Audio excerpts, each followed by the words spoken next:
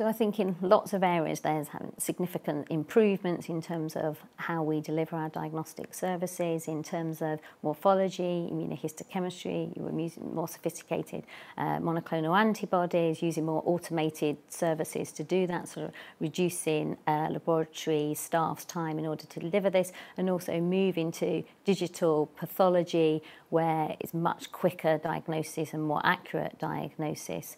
Um, in terms of other aspects of laboratory uh, services that we deliver, genomics is where there is the biggest changes. This is particularly moving away from targeted sequencing to more um, sequences such as whole exome sequencing and whole genome sequencing. And this is really where the main changes are happening is that this will be available to all patients.